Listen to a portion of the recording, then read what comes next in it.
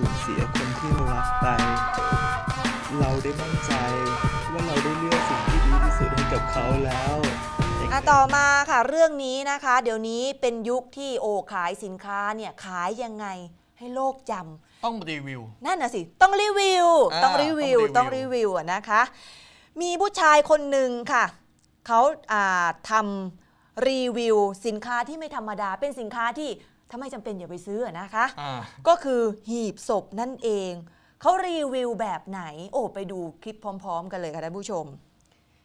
Facebook ของท่านนี้นะคะนี่ค่ะในวันที่ต้องสูญเสียคนที่เรารักไป เราได้มั่นใจว่าเราได้เลือกสิ่งที่ดีที่สุดให้กับเขาแล้ว แต่เคยคิดไหม ว่าถ้าหากสิ่งนั้นไม่ใช่สิ่งที่เขาต้องการล่ะ คุณจะรู้ได้ยังไง ก็จะกลายเป็นแค่ถูกใจเราฝ่ายเดียวแค่นั้นน่ะเหรอ แต่ถ้าสมมุติว่าเขาได้มีโอกาสเลือกเองล่ะฮะ ผมเลือกได้เหรอ งั้นไปกัน ขอต้อนรับลูกลงทุกท่านครับ สู่สายการบิน เฮียเล้ง หีบศพ ซึ่งเป็นสายการบินที่จะนำทุกท่าน ไปสู่สุคติอย่างสบายใจ ทางสายการบินของเรามีชั้นให้เลือกสรรดังนี้ ชั้นแรกผมขอแนะนำโรงชั้น Economy Class ครับ เป็นโรงขนาดมาตรฐาน แต่จะอึดอัดไปหน่อยสำหรับผู้โดยสารที่ตัวใหญ่อะด้านนอกตกแต่งด้วยลายเทพนมหรือสีขาวล้วน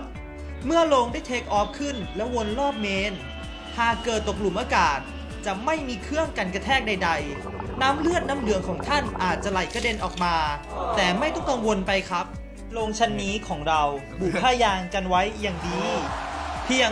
2,500 บาทฮะถ้าลูกลงเพิ่มเป็นชั้น business class แล้วก็สายการบินตามต้องการสายการบินร้านเฮียเล้งหีบศพนะคะท่านผู้ชมค่ะสายการบินนี้พี่เอกพร้อมบินไหมคะ ไม่เอาอะ โปรโมชั่นศูนย์บาทก็ไม่เอา เขาบอกอาโปรโมชั่นของเขาเนี่ยอ่าลักษณะของเขาเนี่ยสายการบินนี้คือเขาไม่มีสั่นสะเทือนนะเออน้ำลงน้ำเหลืองนี่ไม่ไหลด้วยนะคะเออมีสามราคาให้เลือก คนที่อยู่ในคลิปเนี่ยคือคุณอินชาววงศ์พัดพินเป็นเจ้าของคลิปแปลกนี้เขาเปิดใจว่าเขาน่ะเป็นนักรีวิวสินค้าต่างๆ มามากมาย เลยมาคิดว่าเอ๊ะการรีวิวโลงศพเนี่ยมันยังไม่มีในตลาดนะสิคะอืมแล้วก็ส่วนตัวมองว่าความตายน่ะเป็นเรื่องปกติของมนุษย์ ถ้าอยากตายอย่างมีความสุขก็ต้องเป็นความตายที่เลือกเองได้ อย่างเช่นการเลือกโลงศพ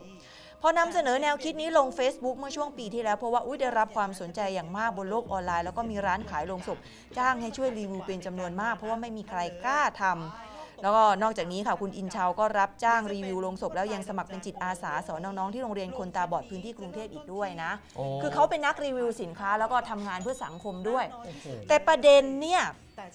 คือการรีวิวสินค้าเนี่ยไม่ว่าจะสินค้าอะไรก็ตามนะพี่เอกโดยธรรมชาติเนี่ยอ่าเราก็จะเลือกแล้วก็ซื้อเองตามอ่าความใจชอบอ่าแต่โลงศพเนี่ยเราเลือกเองได้คือด้วยโรเหรงอคะศพมันเป็นคนซื้อไม่ได้ใช้เออคนใช้ก็ไม่ได้ซื้อเองนั่นน่ะสิเออหรือยังไง หรือเราต้องซื้อเผื่อ เห็นคือพี่เนี่ยเออนั่งดูคลิปเต็มเนี่ยพี่ยังคิดเออเออก็จริงของเขาแต่ความคิดเขาอะดี เออ ในในไอเดียของการรีวิวสินค้าเนี่ยดีนะคะ เพราะว่าก็ไม่มีใครทำอย่างเขาว่าจริง ๆ แหละอืม นะ แต่ว่านี่มันเป็นอุปกรณ์ที่มันเป็นสินค้าที่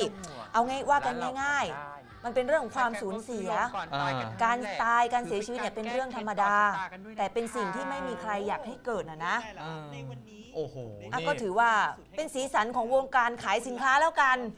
โอ้แล้วเขาทำเนียนมากเลยนะ มีรูปของตัวเองอะไรเรียบร้อยเลย นักข่าวเนี่ยถามนะครับบอกว่าเอ๊ะตอนที่เข้าไปนอนในโรงตอนที่ต้องเข็นเข้าไปในเมนเนี่ยไม่กลัวเหรอเขาบอกยังไงคนเราก็ต้องตายเขาไม่กลัว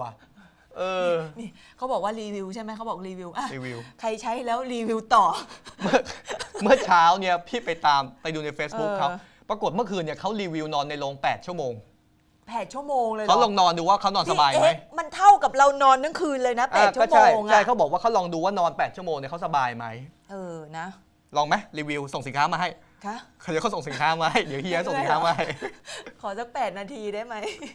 อะก็ถือว่าเป็นสีสันของการขายสินค้าแล้วกันนะนะคะ ถ้ามองเป็นอืมเรื่องของการตลาดไปครัอะบนะครับเดี๋ยวนี้ยุคนี้มันก็ต้องมีอะไรที่ที่มันเป็นสีสันแล้วก็ให้โลกจำจริงๆอะนะคะ